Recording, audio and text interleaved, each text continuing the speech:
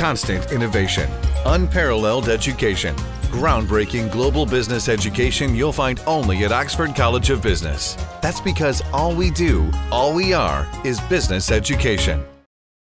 කලක සිට පැවති අසරීප තත්ත්වයක් හේතුවෙන් ඒ.එච්. මස්වර මහතා කොළඹ පෞද්ගලික රෝහලකට ඇතුළත් කර සිටි අතර ඊ රාත්‍රියේ ඔහු අභාප්‍රාප්ත වුණා. මේ යන විට අසුවන වියෙහි පසුව ඒ.එච්. මස්වර මහතාගේ දේහය ඊ රාත්‍රියේ 11ට පමණ දෙහිවල සරණංකර පාර භාතිය මාමතේ පිහිටි ඒ මහතාගේ නිවසට රැගෙන එනු ලැබුවා. 1937 පෙබරවාරි මස 8 වනදා උපත ලැබූ ඒ.එච්.එම්. අස්වර් මහතා දේශපාලනයට පිවිසීමට පෙර සිය වෘත්තීය දිවිය ආරම්භ කළේ ගුරුවරයෙක් හා මාධ්‍යවේදියෙක් ලෙසින්. 1950 පනහ වසරේදී ලංකා සම සමාජ පක්ෂයෙන් සිය දේශපාලන ගමන ආරම්භ කළ ඔහු එක්දස් නමසය පනස් පහ වසරේදී එක්සත් ජාතික පක්ෂයට එක්ව එක්දස් නමසය අසු නමය වසරේදී පළමු වරට පාර්ලිමේන්තු වරම් හිමිකර ගත්තා.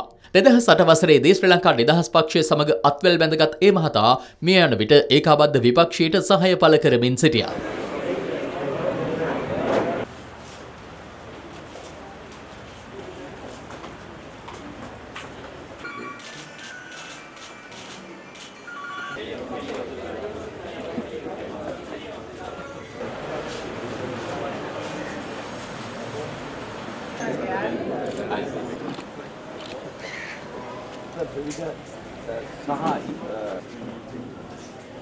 ජාතිබේදයෙන් තොර වූ රට ගැන හිතන හිටපු ඇමතිවරයෙක් හැටියට මා දකිනවා.